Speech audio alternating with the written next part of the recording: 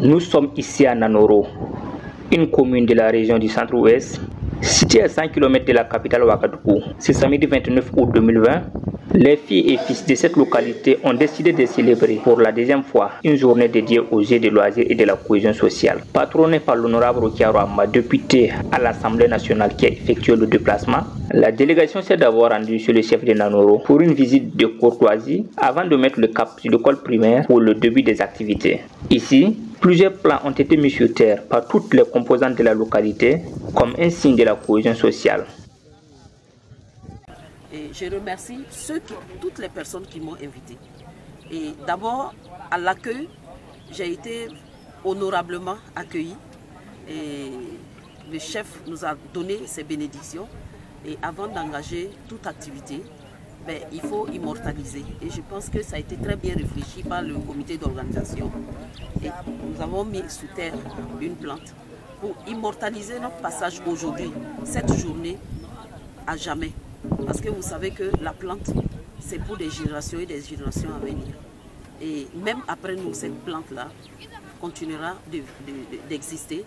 et des gens vont se reposer à l'ombre de cet arbre. Et c'est une fierté pour nous parce que c'est une trace que nous laissons.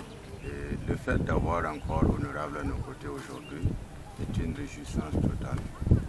Parce que pour celui qui euh, a la mémoire se rappelle qu'elle a été une actrice principale pour la défense de la voie dans le domaine du désenclavement de notre commune. Donc aujourd'hui, ce n'est pas dire que c'est surprenant, mais c'est une joie totale de l'avoir parmi nous et de toujours soumettre nos doléances. Et avant même qu'elle ait nos doléances, elle avait défendu de faire le passé. Donc c'est une satisfaction totale.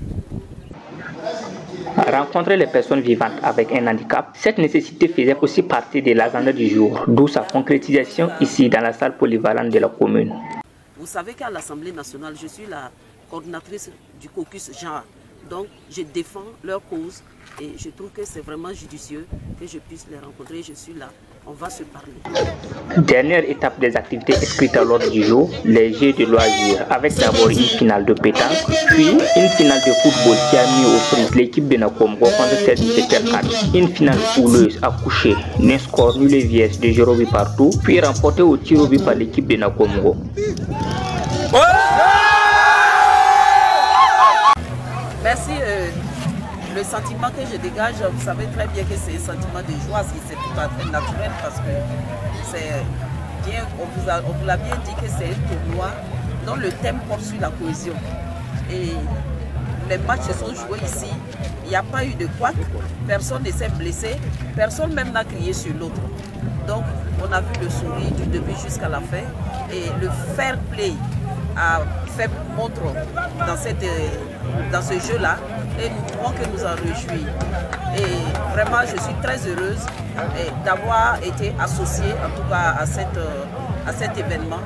Et je souhaite que d'autres événements de cette envergure et même plus puissent encore s'annoncer dans les années à venir Alors, à l'ensemble de toute la commune de Nanoro, faut-il le dire encore, la cohésion, rien que la cohésion, les fils et filles de la commune de Nanoro soient unis pour construire et développer la commune de Nanoro.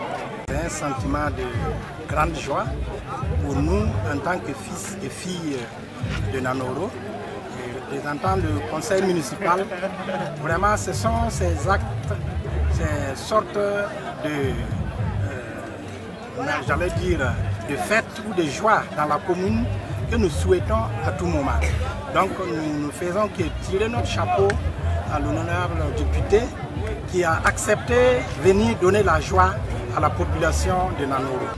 je voudrais prendre la parole en tout cas pour remercier la délégation de, de Madame la députée ainsi que toutes les autres autorités qui l'ont accompagnée.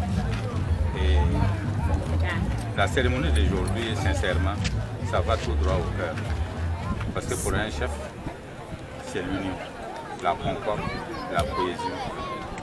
Ce sont ces éléments-là qui bâtissent en tout cas un, village, un canton, et un cercle et partant toute la nation. Bien déroulé sans incident majeur, le pari est gagné côté organisation et rendez-vous est pris à l'année prochaine pour une autre édition.